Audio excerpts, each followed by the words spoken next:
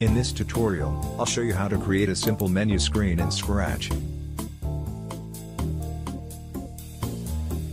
It's one sprite, and you can easily backpack it and apply it to your games. To start off, we need to create three costumes. The Start button, the game title, and the background.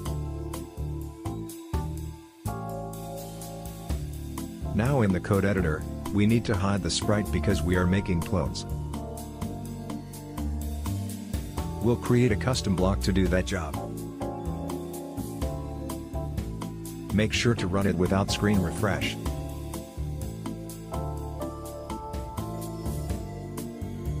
Then, under the custom block, we will need to position all three costumes and clone them. Let's start with the start button.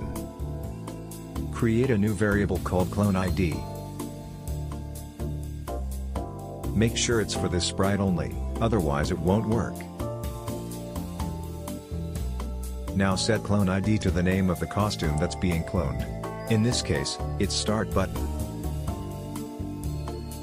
Set the costume to start button.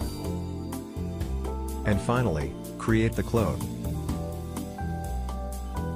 Make sure clone ID and the costume name are exactly the same, no spelling errors. Otherwise you'll have problems later on. Right-click and duplicate those blocks three times to make it easier. One for each costume. And also change the costume and clone ID.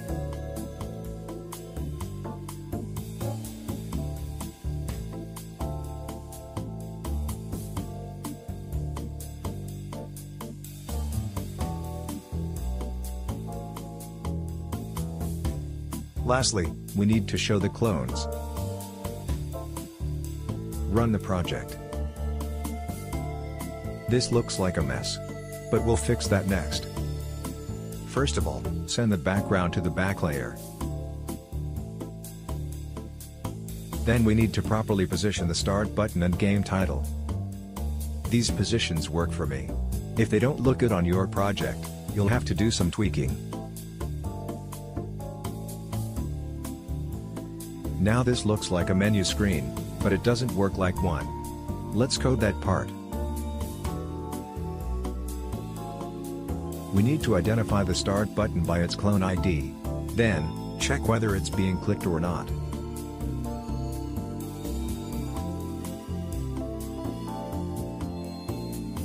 Make sure to spell start button right. When the mouse is touching the start button and the mouse is being held down at the same time, that's when a click happens.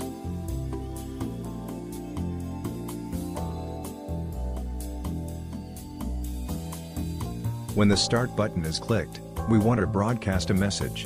I'll name it start, because it signifies the start of the game. When the message is received, we need to delete all the clones and reveal the game. We don't have a game right now, so it will be a blank screen. The menu screen is functional, but it looks pretty boring. Let's add some effects.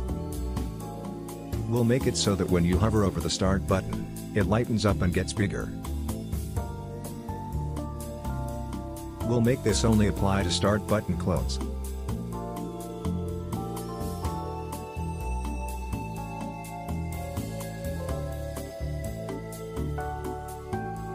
If touching the mouse pointer, change the brightness by 2 and the size by 5. The repeat block makes it a smooth transition.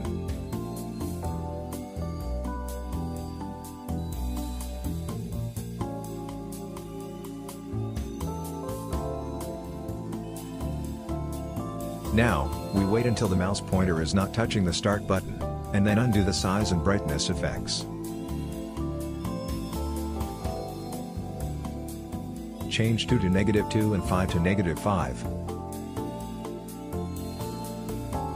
Now the start button has a nice effect.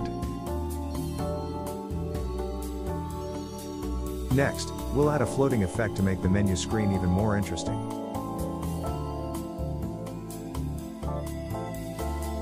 First, let's make the game title float up and down. We identify the game title clone. Make sure to spell game title correctly.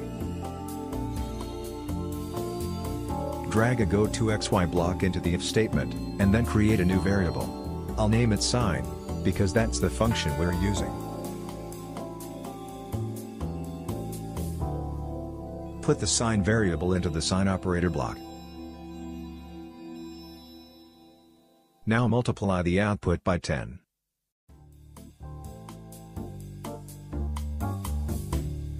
Finally, add an addition block. Fill in whatever value you want the game title's Y position to be. In my case, it's 80. Now put everything in the Y position slot.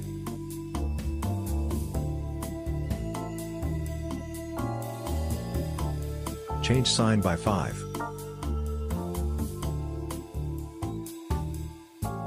The game title is floating up and down now.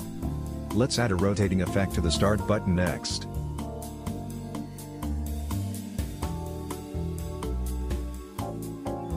Duplicate the script we just made, and get rid of the sine variable. Change it from game title to start button.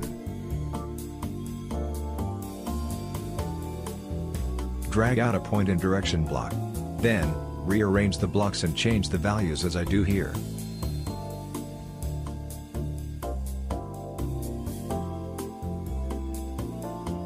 Multiply it all by 5.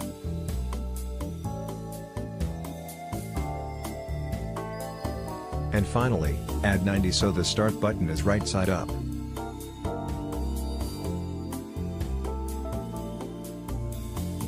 Now, put it all in the rotation block.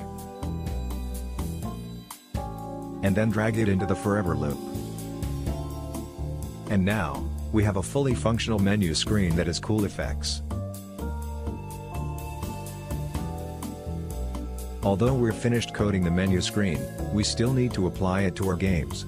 I'll show you exactly how to do it. Open your backpack on the bottom of your screen, and then drag the menu screen sprite into it.